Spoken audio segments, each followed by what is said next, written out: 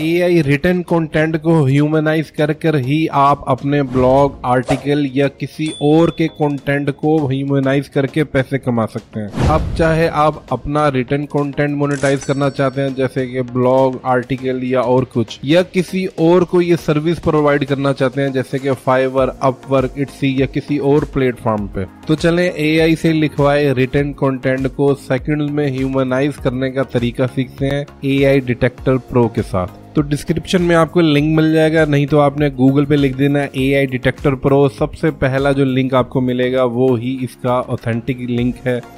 यहाँ पे आपने गेट स्टार्टेड फॉर फ्री कर देना है। फ्री करने के बाद आपने यहाँ पे अकाउंट बना लेना है। अकाउंट बनाने के लिए आपको अपना नाम, अपना ईमेल एड्रेस और ये सब इन्फॉर्मेशन इसके अंदर डाल देनी है।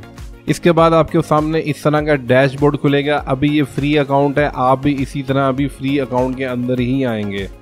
तो पहला स्टेप करने के लिए आपने देखना है, यहाँ पे डैशबोर्ड है और कुछ भी यहाँ पे अभी हमने जनरेट नहीं किया, ना चेक किया, सब ज़ीरो आ रहा है। Zero A generated zero human written यहाँ पे लेफ़्ट साइड पे आपको रिपोर्ट की ऑप्शन नज़र आ रही है। अगर आपने यहाँ कुछ बनाया होगा तो वो यहाँ पे मेंशन होगा। प्रोजेक्ट की ऑप्शन है प्रोजेक्ट भी अभी हमने नहीं बनाया। तो हम डैशबोर्ड में जाएँगे।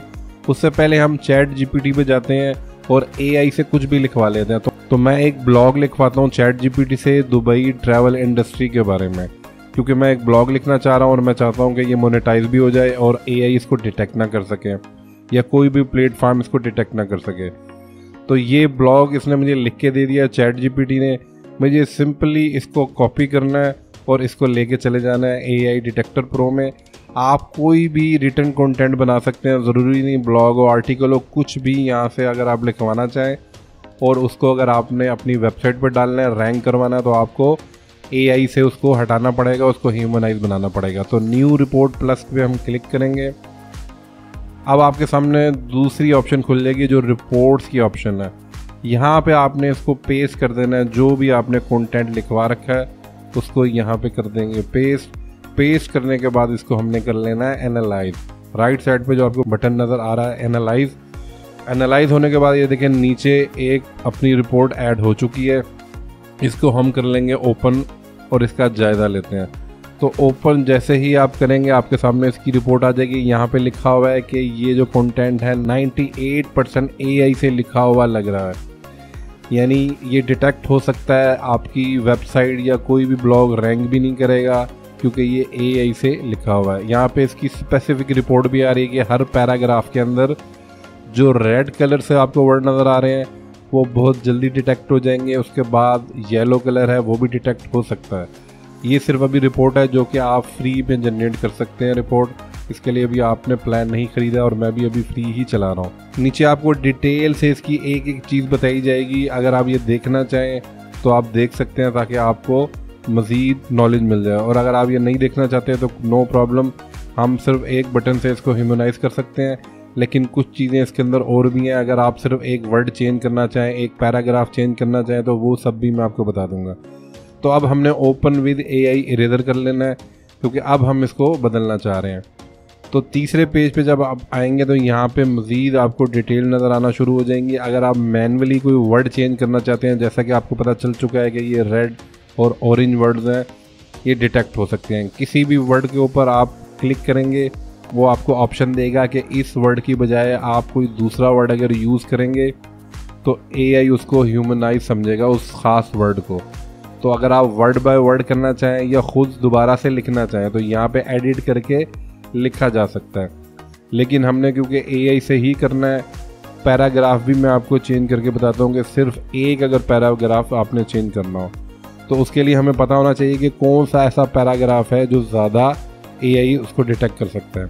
नीचे मज़ीद देखें ऑप्शन है, अगर आप पढ़ना चाहेंगे रेड का क्या मतलब है ऑरेंज का क्या मतलब है, वो आप पढ़ सकते हैं।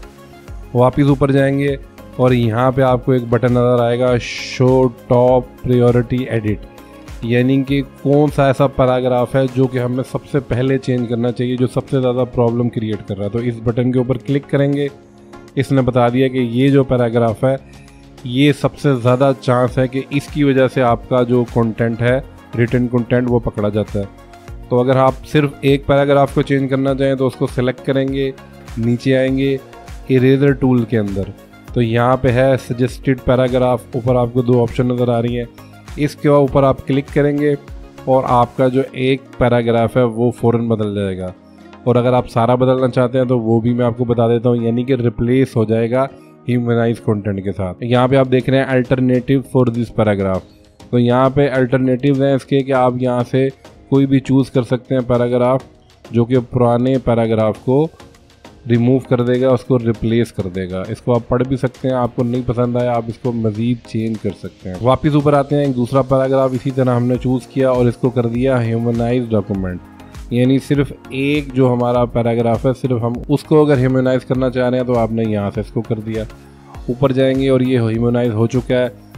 अगर आप इसको रीस्कैन करेंगे तो ये दोबारा आपको रिपोर्ट दे देगा। आप रिपोर्ट इसकी चेक कर सकते हैं कि ये एक पैराग्राफ में से कोई भी एआई की चीज़ डिटेक्ट नहीं कर सकेगा। और ये देखें, नीचे वाले पैराग्राफ में कोई भी इसने चीज़ डिटेक्ट नहीं की। लेकिन अब हमें सिर्फ़ पूरा आर्टिकल जो है, वो एक क्लिक से डिटेक्ट करना है और उसको रिप्लेस करना है और उसको दुरुस्त करना है। तो डिटेक्ट तो हो चुका है तो अब हम क्या करेंगे? किसी चीज़ को सिलेक्ट नहीं करेंगे, नीचे आएँगे और नीचे जो आपको ऑप्शन नज़र आ रही है ह्यूमनाइज डॉक्यूमेंट तो सिर्फ़ आप ये कर लेंगे, अगर आप पूरा एक सेकंड में या तकरीबन पाँच से सात सेकंड में इसको आप ह्यूमनाइज करना चाह रहे हैं। तो ये देखें, ये ह्यूमनाइज हो चुका है। अब हम इसको रीस्कैन करके दोबारा भी चेक कर लेंगे। देखें, यहाँ पे हर चीज़ रेड येलो सब ख़त्म हो चुका है। और बहुत अच्छा सा ऐसे ही लग रहा है जैसे किसी इंसान ने इसको लिखा हो आर्टिकल को ब्लॉग को। तो दोबारा से रीस्कैन करके रीचेक कर लेंगे और ये देखें ह्यूमन डिटेक्टेड यानी कि इसने डिटेक्ट किया कि ये किसी ह्यूमन ने ही लिखा है, इसमें कोई चांस नहीं है कि कोई इसको डिटेक्ट कर सके कि ये एआई से लिखा गया है। जबकि हमने तो इसको एआई से ही लिखा था। इस तरीके से हमारा ब्लॉग पॉज या कोई चीज़ भी डिटेक्ट नहीं हो सकती।